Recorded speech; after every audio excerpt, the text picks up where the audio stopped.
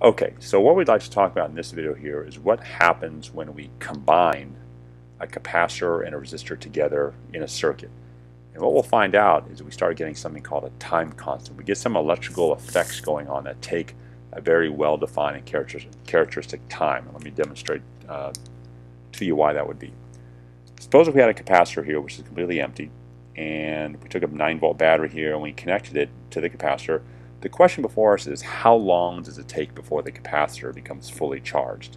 Turns out we discussed that these capacitors can be charged up. They can't store electrical energy, but the question is how long does it take? They only accept so much charge before they refuse anymore.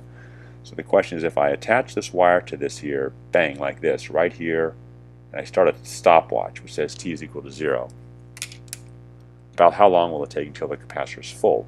And in a case like this here, it turns out that the full time here, so in other words, the time it takes to get full, is going to be very fast, maybe on the order of, a, let's say, one nanosecond or so. That's one billionth of a second, bang, the capacitor is full. So when I was running this demo in a previous video, when I connected the battery and waited for a long time, that was totally unnecessary because the battery becomes full very, very quickly. Okay. So as you might guess then, there's no reason why I couldn't build a circuit that looks something like this here why couldn't I take the same capacitor that I was using here, the same battery, something like that 9 volt battery like this here, there's a positive, there's a negative. Let's connect it again like this.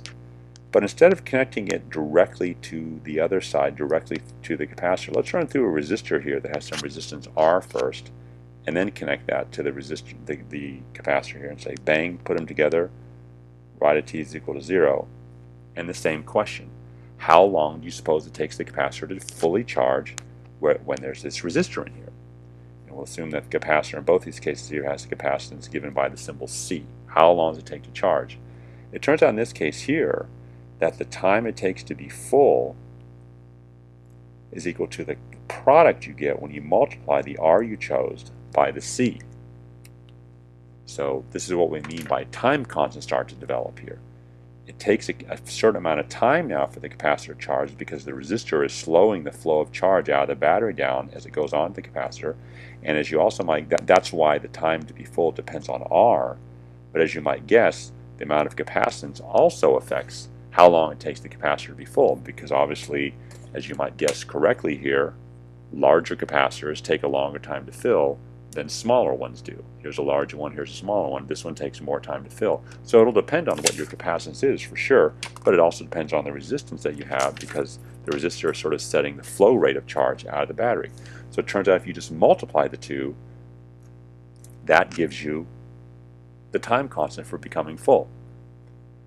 And it's also the, the same argument also applies that if you wanted to discharge a capacitor, that is if you wanted to do something like this, Suppose here's your capacitor like this.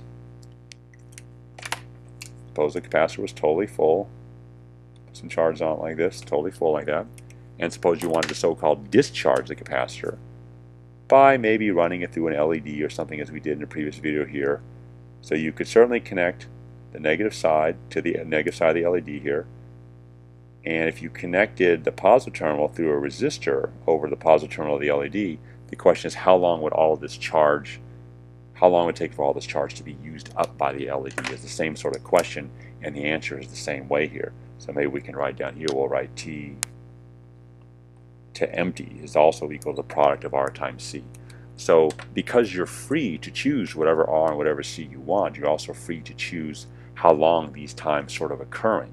So let me give you a little demonstration now of this in the discharge effect. The discharge is a bit more easier to see because you can see the sort of the LED come on as we saw in a previous video.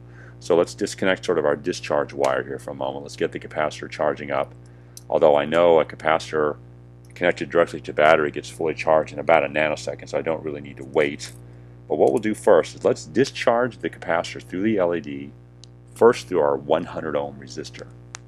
So I'm going to connect the 100 ohm resistor there and there. So the 100 ohm resistor is going to sort of set, again, that flow rate that the current will have as it leaves the capacitor. Okay, and let's see if we can even do a quick calculation here. Okay, the capacitor that I have installed here is a 1,000 microfarad capacitor, 1,000 microfarads, and the resistor is 100 ohms. So if I just multiply the two, now you have to be a bit careful here with the micro in here But what I know here is that 1,000 here is 10 to the third, and micro is 10 to the minus 6. And then I have a 10 to the squared here for 100 here, so I'm just sort of looking at the powers of 10 to give an estimate right here. So this is going to be something like 10 to the minus 3 times 10 squared, and that's going to be something like 0.1. So 0.1 seconds. So if I try to discharge this 1000 ohm capacitor, excuse me, 1000 microfarad capacitor through a 100 ohm resistor, I'm claiming it should be fully discharged in about a tenth of a second. Now we saw this in a previous video. Let's do a lights out to sort of see here. And just try to, we won't do any precise timing here. But let's see if, if, if the LED sort of comes on and gets dim in about a tenth of a second. And I'll do an alligator one. How Here's this. So three, two, one, alligator one. I don't know. I think it was sort of more like maybe half a second, but it was definitely less than a second. But in either case, it was a number that wasn't too different than a tenth of a second. So we're sort of looking at a system here that gets completely discharged, I'm going to say in about a tenth of a second. I'm kind of happy with the result. If you look carefully, the 0.1 actually only means when the capacitor is approximately 67% discharged. We won't worry about that, but I hope you agree that we saw something happen here, definitely in less than a second. Okay, let's take the 100 ohm resistor out. Let's put in my 2200 ohm resistor here, something like this. Go ahead and put that in there like that. Okay. So I'm just going to discharge the capacitor now. Let's get it charging up here. Again, a nanosecond, but I'll make it in there. Let it charge while we talk about this here. So now well, let's see we have a different time constant now. We still have the 1,000 microfarad capacitor sitting there, but now we have a 2,200 ohm resistor. I've got my, it's red, red, red. I'm going to make it a bit easy on myself here, and I'm going to say it's a 2,000, something like that. I'll ignore the 200 for now because I want to need to do a little math in my head here. Again, this is a 10 to the 3 times 10 to the minus 6.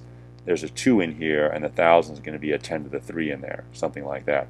So what I'm looking at here is the 10 to the 3 and the 10 to the 3 are 10 to the 6, and there's a 10 to the minus 6. So all these powers of 10 are just going to go away. I'm sort of left with a time constant here of 2 seconds. So by increasing the resistor to about 2,000 ohms, 2,200 technically, I should see the light bulb, excuse me, the LED, become fully discharged, not in a tenth of a second anymore, but in about two seconds. And let's go ahead and test that and see if we can get that here. So three, two, one, alligator one, alligator two, al yeah. Seems like to me my alligators were a bit off there, but I'm definitely seeing the capacitor fully discharged through that LED and definitely on the order of a couple seconds now, not the tenth of a second like we saw before. So see, what we're doing here with this capacitor is we're able to sort of set in electronics how fast something is allowed to happen. And that's incredibly useful, uh, as we'll see in some other circuits that we're going to see is coming up. But the odd part about all this is, uh, I'll tell you the odd part in just a second here. Uh, what this is called, of course, the time constant here. In physics and engineering books, it's often given with a simple tau. It's always R times C. And it's just kind of amazing here that if you multiply an R, which has units of ohms, and you multiply C, which has units of farads, the total answer you get something like that is the second. So an R times C does give a time constant in seconds like that. And also technically, as you watch the LED sort of discharge there, um, if say we wanted to say, right, what is the charge, Q is a symbol for charge as a function of time on the capacitor, it starts fully charged like this, but the decay is sort of an exponential like. It sort of goes down like this as it goes. It doesn't go straight down. It doesn't bow or anything. It's an exponential decay there. And likewise, if we want to charge a capacitor using a battery or something like that, an empty capacitor starts here at zero like this, and the charge builds up exponentially also. It should flatten out up there and reaches some maximum charge because capacitors always become only accept so much charge when they're charging right here. So this is sort of your charging cycle right here. And over here, this is your discharge charging cycle. There's a negative exponential here that eventually goes down to zero and arises at to reach some asymptote up there. So capacitors do hold only so much charge. That's all the technical aspects of the thing here. But just keep in mind that the time constant just depends on C and R, the product of the two. And as we conclude this video then, um, that's sort of what happens. Again, just to recap, if you multiply R times C, that's where your time constant comes from. They're exponential in nature here, drops off exponentially, exponentially there too. That's why at the very end of our discharge cycles here, we sort of had to look very carefully to see anything changing anymore because these exponents get very, very slow as you go. And that in a nutshell is what happens when you combine a capacitor and resistor. You get these time constants.